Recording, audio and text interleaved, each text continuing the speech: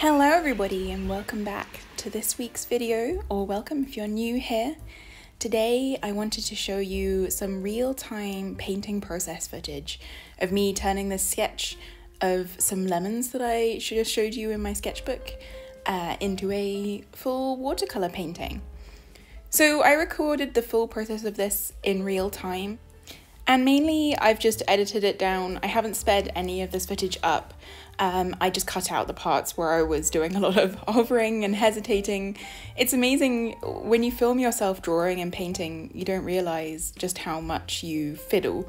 Like when I was uh, filming the sketch portion of this video that you're watching right now, I didn't realize how often I sort of flick and turn my pencils when I'm drawing. Anyway, this would be a good video to just have on the background, um, grab a cup of tea and just join me while I paint. So as you can see right now, I am just sketching out the basic composition of these lemons and a couple of little lemon flowers. Um, my plan was to do this just like as a vibrant, uh, sort of semi-loose watercolor painting with like a nice sort of abstract border. Um, and I was just sketching it out. I used a watercolor pencil for the the light grey pencil is a watercolor pencil, and then this light yellow pencil I'm using is just a regular polychromos colored pencil. Um, yeah, I don't know. I've been experimenting with using watercolor pencil for drawing outlines, but my problem with watercolor pencils is that all of the leads always feel so crumbly. I didn't have this issue with the Inktense pencils, but with this um, Albrecht Dürer um, regular watercolor pencil from Faber-Castell and then also with the Caran d'Ache Museum Aquarelle pencil I have, I find that they're just very crumbly. But yes.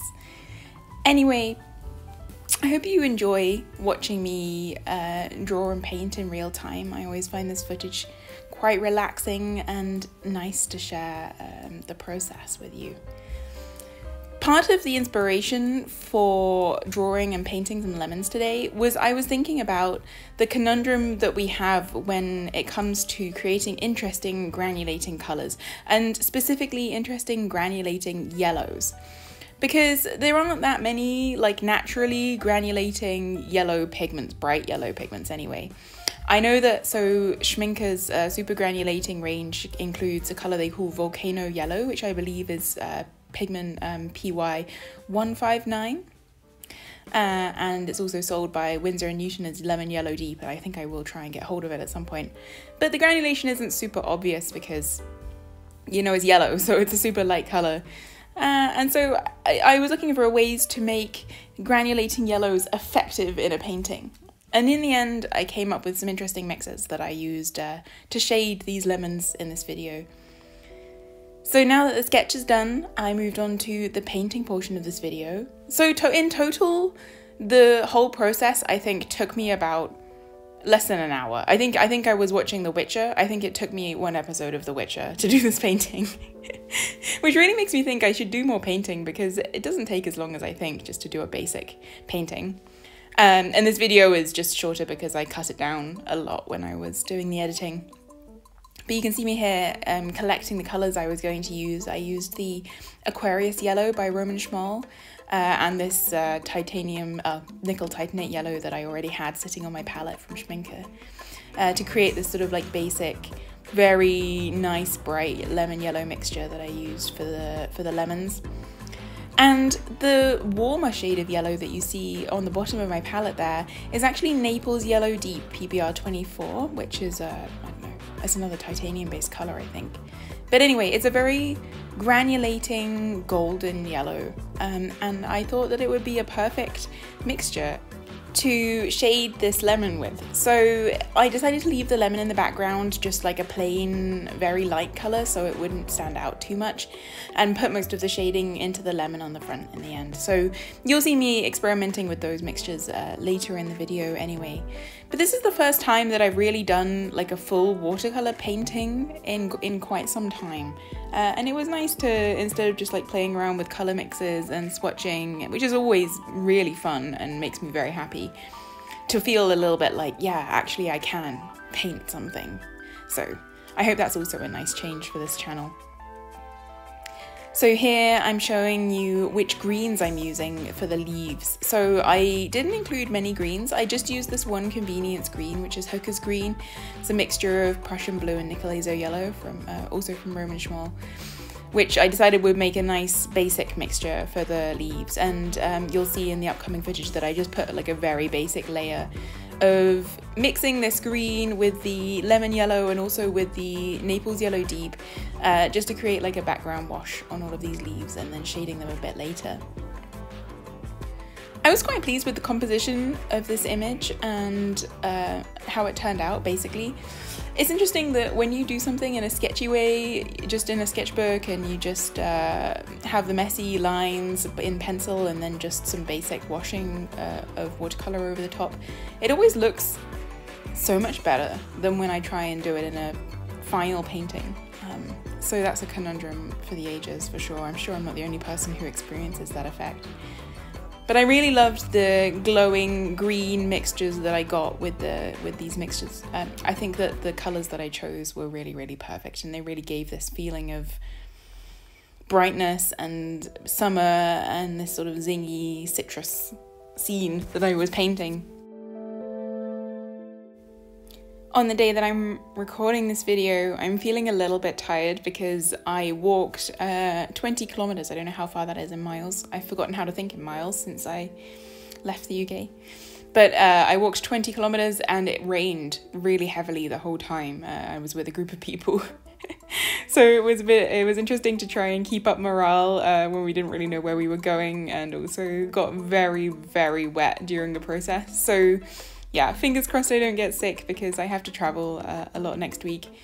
Which is also a little bit stressful in and of itself because it means that I feel like I have to record uh, ahead a little bit to catch up uh, so I don't have to miss any uploads because I'm going to be in France next weekend and then in Copenhagen the weekend after that, which is incredibly exciting. And uh, don't get me wrong, I totally appreciate my uh, privilege in being able to do that. The trip to France is for work, so yeah, not not not so amazing, but I, I'm really excited to go and do some traveling right now this summer. I mean, I feel like I've been trying to pack stuff in to make the most of the warm months, knowing that there's going to be another long winter coming up, and we've been having quite a nice summer here. Except for today, of course, the one day that I decided to go on a long hike in the middle of the woods, uh, we get absolutely drenched in rain. Anyway, back to the painting briefly, you can see me mixing this uh, Naples Yellow Deep with the Aquarius Yellow. I did some experimenting with mixing uh, other granulating deep yellows uh, to create this sort of shading for yellow objects. Um, and this was partially inspired by looking into Da Vinci watercolors, which is a brand from the US, which I don't really have access to. But I noticed that a lot of their mixtures, uh, including their yellow mixtures, include um, yellow ochre or a granulating yellow earth color, PY42.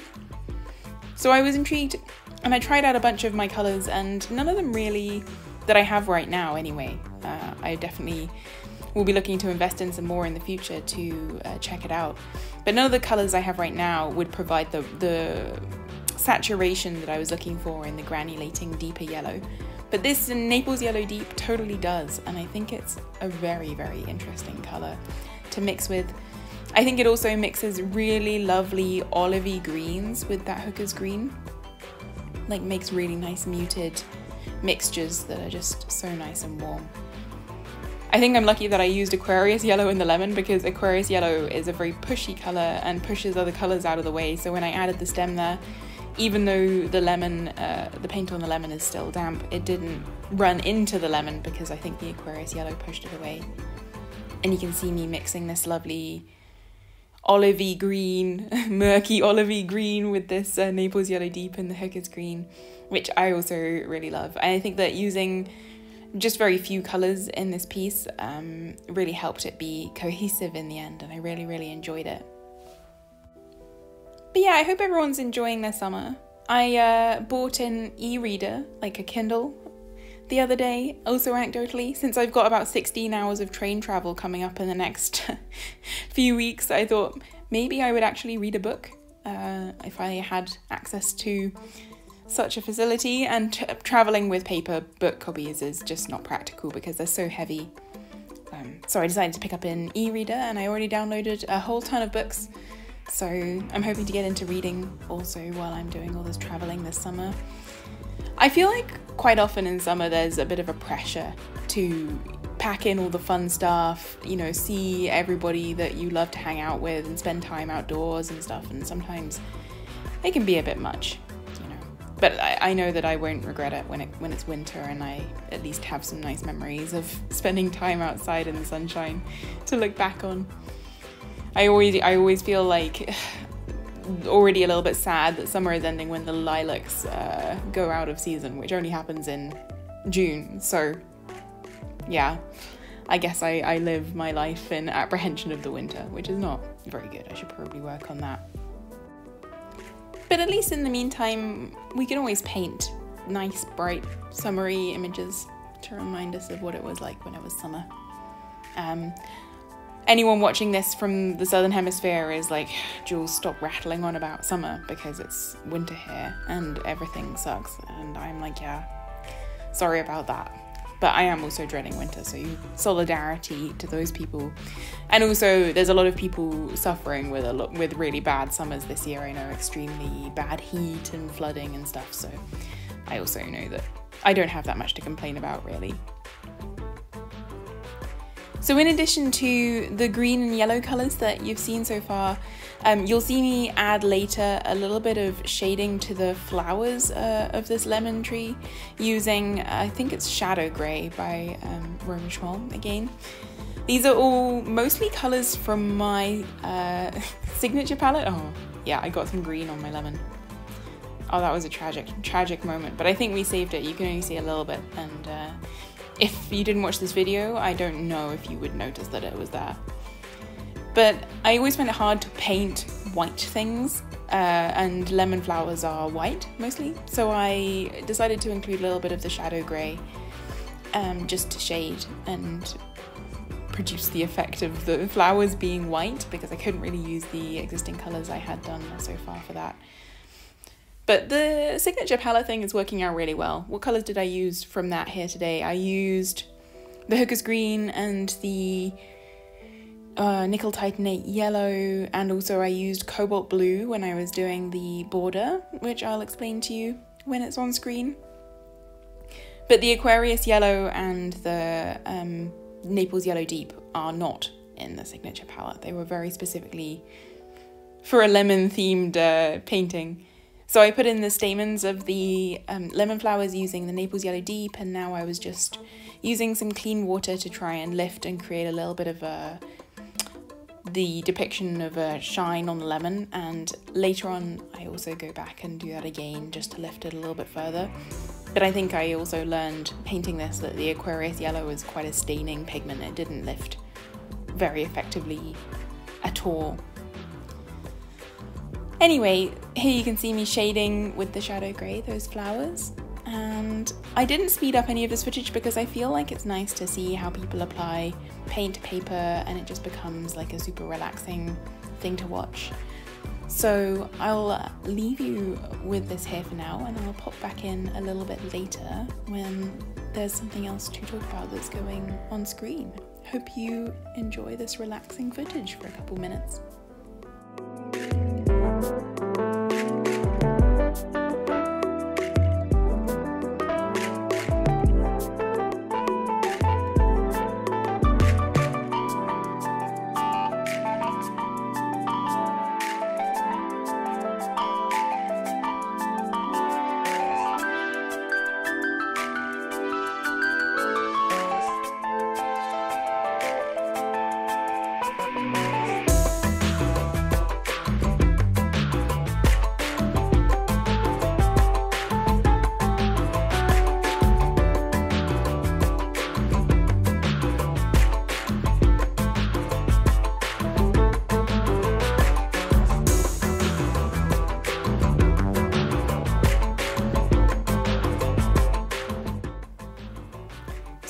After I finished the flowers, I decided that the leaves were looking a little bit dull. I guess because the mixing the Naples Yellow Deep in with the green does make it a bit dull and they only had a light wash on to begin with. And so I decided to go over with a very light glaze of the Aquarius yellow with a little bit of the Hooker's green mixed in. And looking back on this footage, I'm honestly a little bit afraid. I'm like, oh, that was a bold move. But in the moment, I don't know, I guess I felt like I was in control and it seemed like the right thing to do. And uh, I, I like the results, so, you know, no complaints. But um, as you can see, it was lifting a little bit the colour underneath from the green layers before. I'm painting this on relatively affordable, just cellulose uh, watercolour paper by Clairefontaine, their Goldline uh, Aqua Pad, I think, if I remember correctly. So I wasn't expecting amazing performance from this paper, but somehow I find myself more likely to paint if I have paper that I know I can easily replace, paper that I have a whole pad of, and I just wanted to do a low pressure little painting to try and get into painting a bit more.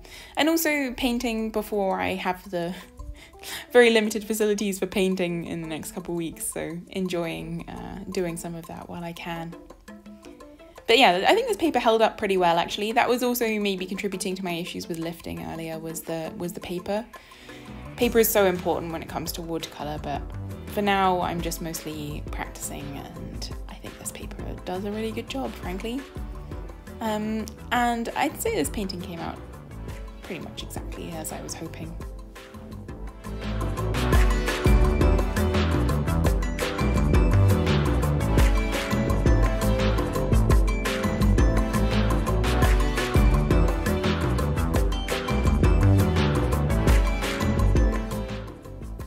So after I added a little bit more depth uh, and vibrancy to the stems of this, I came back in and lifted a little bit more colour, a little bit more effectively this time, I guess because it was already on a thinner layer of paint. I probably could have gone bolder with the values. Um, I added a little bit more shading later, but look at those mixtures on my palette.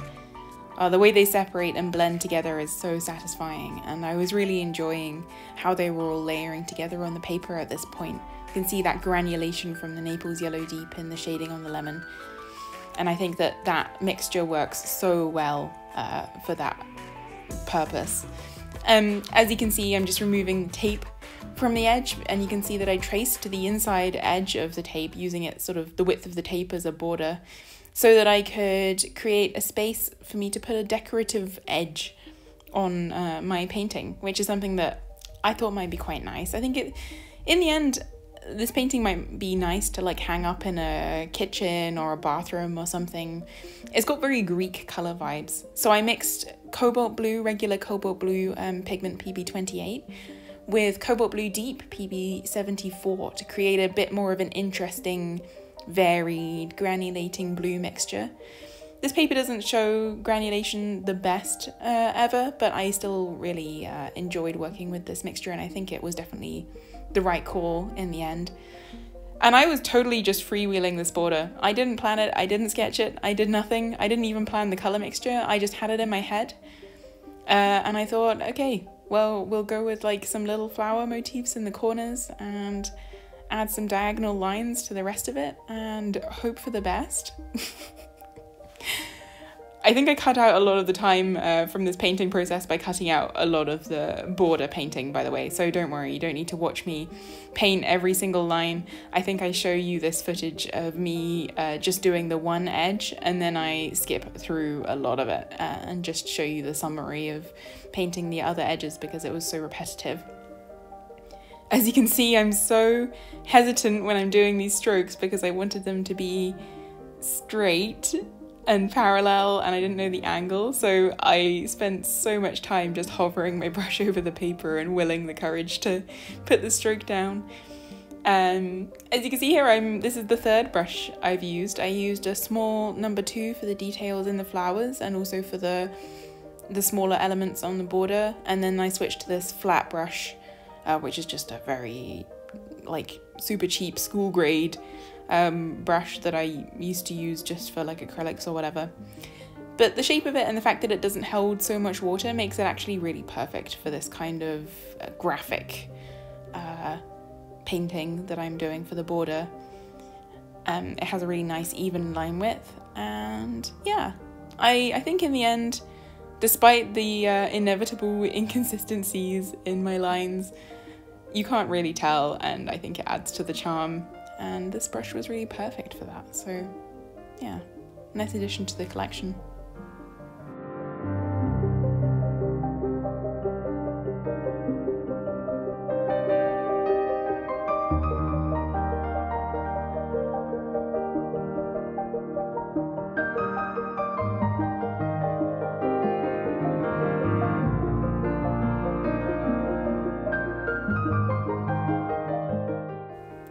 After I did the lines, I decided that it needed something in the spaces between, and so I sort of went with this um, half sun or half flower kind of approach.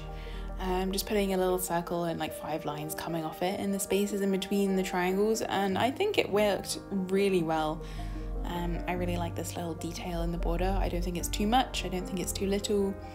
I really do love that colour as well, so yeah, patting myself on the back, but I, uh, I'm, I gave me a lot of confidence to see that I was making good decisions when looking back at this footage.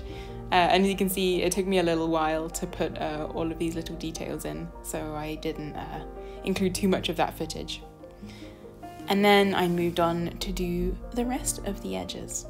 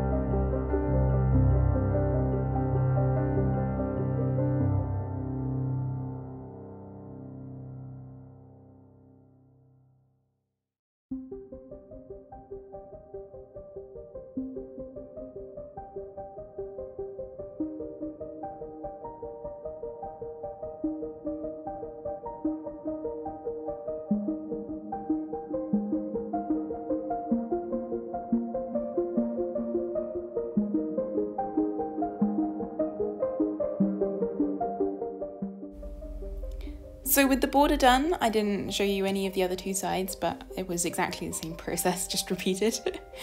I decided I would come back in and add a little bit more value to the underside of the lemon, and I did this with a very, with my very small brush that I've been using for the details because I didn't want to mess up anything else I'd already done. And I just added a bit of the neat Naples Yellow Deep onto the bottom edge of the lemon around the flower and also around the whatever the knobbly bit at the end of the lemon is called. I'm sure it has a name. I don't know it though. And then just blending it out into the rest of the lemon. I, I, I was kind of afraid it was going to look super patchy, um, but in the end, I think it dried down okay. And I, yeah, it gave the effect that I wanted.